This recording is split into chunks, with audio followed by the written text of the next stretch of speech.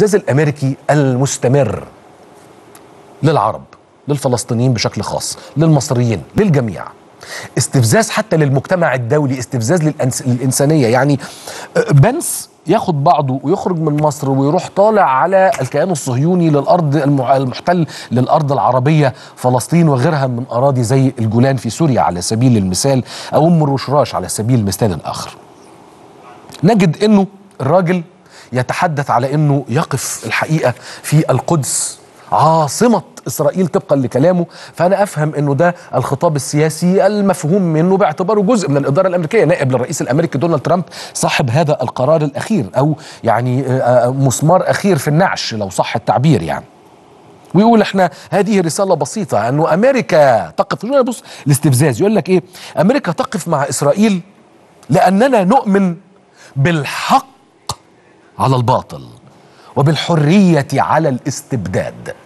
يعني الولايات المتحدة الأمريكية شايفة انه الكيان الصهيوني هو دولة الحق وأن العرب هم شعب الباطل؟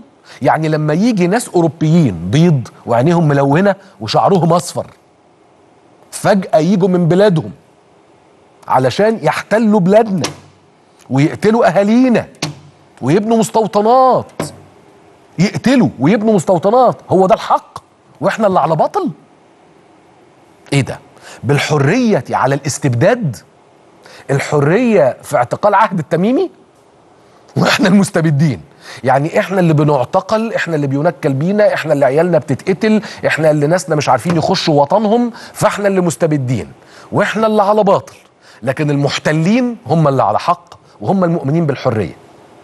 بمناسبة خطاب مايك بنس نائب رئيس ال- ال- الأمريكي في في, في الكنيست بالمناسبة. تعالوا نتكلم على واقعة حصلت. اعتداء من أفراد أمن الكنيست. النهارده على نواب القايمة العربية المشتركة وطردهم من الجلسة اللي شهدت خطاب هذا الرجل الجائر بحديثه المستفز السافر السافل. حديث سافل. إحنا نتحدث نتحدث على أشخاص. ليه؟ لأن هم احتجوا على سياسة الإدارة الأمريكية المعادية للشعب الفلسطيني. رفع النواب العرب الحقيقة لافتات مكتوب عليها القدس عاصمة فلسطين. فيقوم ينقض عليهم الحرس وينقض عليهم النواب الصهاينة علشان ينزلوا لافتات القدس عاصمة فلسطين ينزلوها بالعافية ويتم تمزيقها ويخرجوهم بعد كده من القاعة بمنتهى العنف والجور. هو ده الحق في وجهة نظر بنس وهي دي الحرية. وهي دي الديمقراطية العظيمة في المنطقة اللي تحدث عنها ترامب في خطابه لنقل السفارة. إنها مثال يحتذى في الحرية والديمقراطية فيضرب النواب. لمجرد إن هم معترضين. نواب يحق لهم التعبير سلميا عن موقفهم حقهم. إحنا نواب الكتلة العربية. لم يفعلوا سوى أنهم الحقيقة رفعوا لافتة بتقول الأرض دي بتاعتنا.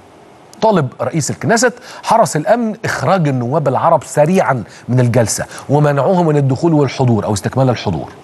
النواب العرب في الكنيست قالوا بعد طردهم إنه أمريكا لم تكن في أي يوم وسيط نزيه لحل القضية الفلسطينية وإن الإدارة الحالية تسجل ذروة غير مسبوقة بالتبني الكلي لسياسة اليمين الاستيطاني الجائر الصهيوني المتطرف.